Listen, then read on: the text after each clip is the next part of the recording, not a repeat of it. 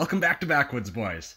Now, this episode is a little bit different in that it follows myself, Dale, and a couple of my biology friends way up north on an excursion to investigate the dens of some black bears that we'd collared with GPS trackers the spring before. We headed up in early March with the intent to locate these dens and investigate the sorts of dens that are used, the type of tree cover preferred by the bears, and a bunch of other factors. And although, trust me, it really was a serious science excursion, it was also the outing of a lifetime. We were up north of Wollaston Lake in northern Saskatchewan. Now, there's not much up here besides forest, bogs, lakes, and some uranium mines, but the landscape has its own fierce beauty that never grows old. Jackpine Ridge blends into Jackpine Ridge and eventually gives way to black spruce bogs and open taiga, and although it seems like a barren area, it's actually teeming with animal life.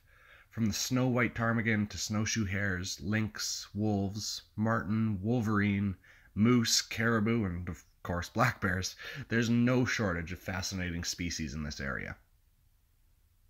The team was led by Branden, who'd spent the winter combing the autumn data to pinpoint the den locations that could be accessed from the only road that crosses northern Saskatchewan.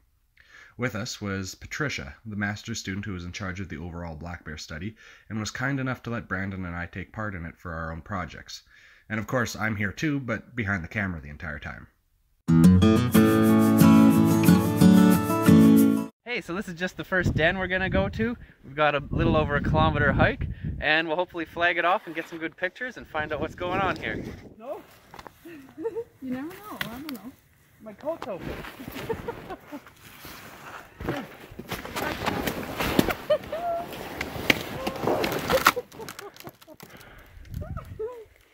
this tree will help me.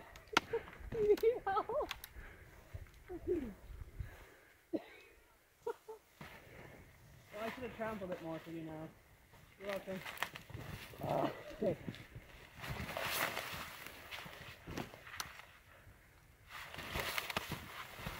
Look at you, you don't even have to. Each GPS collar is also equipped with a VHF transmitter that sends a signal on a unique frequency, allowing us to pinpoint the location a little more closely. Unfortunately, it turns out that the bear in the first den must have denned right beneath a stony ridge because our VHF receiver was unable to pick up any signal. As frustrating as it was to have hiked three hours into the location only to find ourselves unable to locate the den, we had to call it quits. We struggled back the way we'd come and moved on to the next den.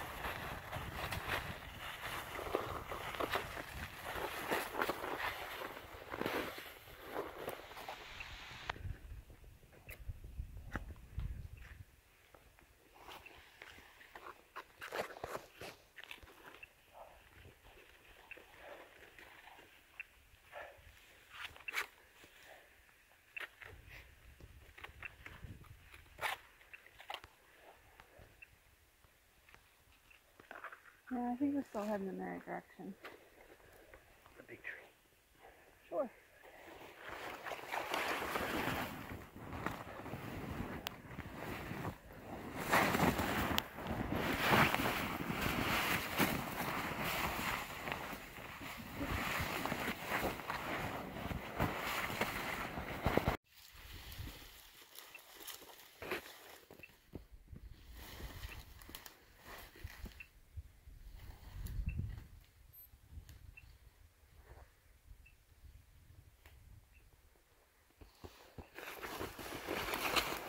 We have a few little tricks up our sleeves for finding out exactly where these bear dens are. The coolest tool in our arsenal is this little scope. Looking through the viewfinder shows heat signatures of the surrounding objects. Trees that have been heated by the sun shine up as orange, but the snow is generally uncolored. The hope is that the scope will reveal a hot spot beneath the snow, indicating the presence of a warm and hopefully deeply sleeping bear.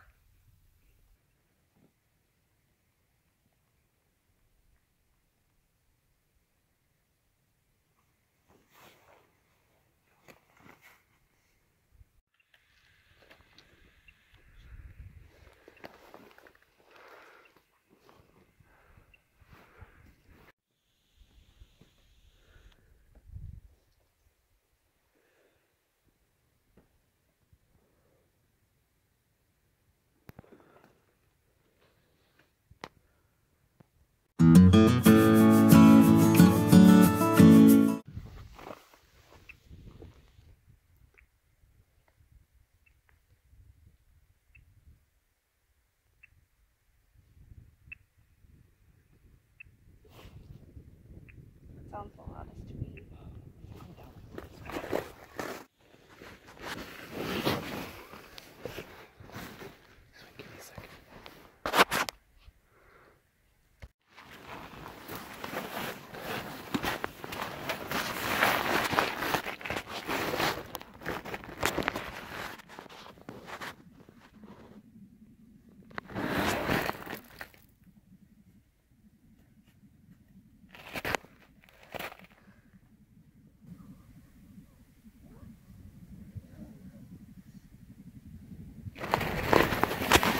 She's got cubs.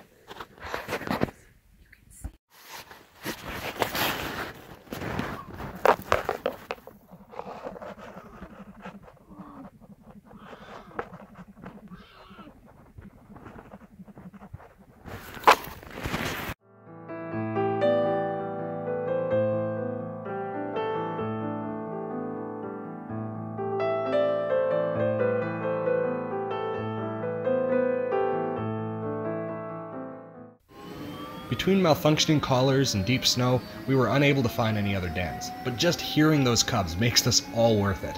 This wasn't even the end of our trip though. Our bear den team was only a small part of the larger team that had come up to do the annual woodland caribou aerial survey, and we were lucky enough to get to join them in the helicopter for a day.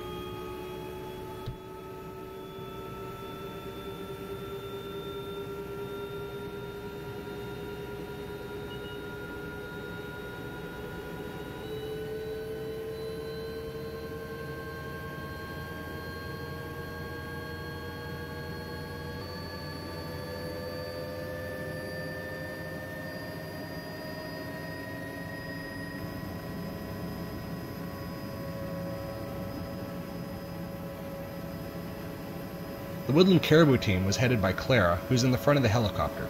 We're in the air with a similar telemetry antenna attached to the ski of the helicopter, searching for caribou groups.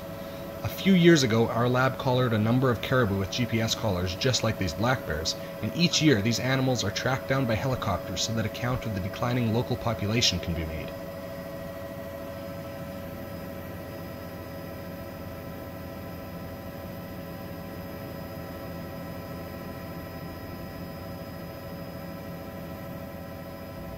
The tricky part of this process is locating the caribou. Just like with the antenna that we used for the bears, the telemetry system works by pinging louder when it's facing the transmitter located in the collar on the animal. Both Clara and the pilot can hear the pinging in their headphones, and the pilot has to carefully pivot the helicopter back and forth to pick up on the strongest signal. Now that we know we're close to the collared individual, we need to try and spot them in the trees down below. Again, this requires careful and skillful navigation on the pilot's part as he circles around patches of trees trying to move the caribou group into the open so that we can count them. Finally, one group of four caribou with a single collared cow breaks from the cover and we get our first caribou sighting of the day.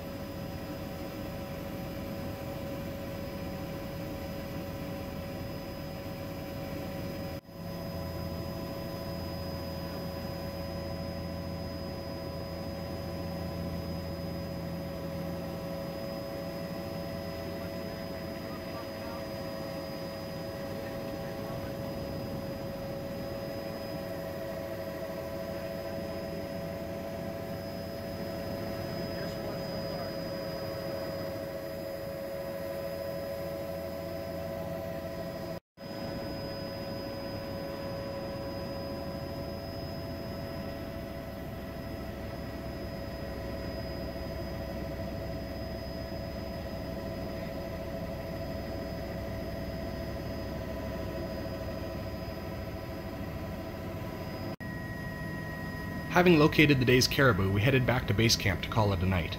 All in all, this expedition was the experience of a lifetime.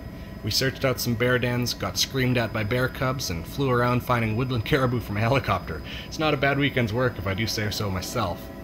Thanks for watching. We hope you enjoyed tuning into our little adventure. Make sure to like, comment, and subscribe for more content because, God willing, there's going to be a ton of similar videos in the near future. I've got a whole master's degree collaring and tracking down moose ahead of me, so make sure to comment, subscribe, and follow close to see more of this sort of thing. We'll see you next time.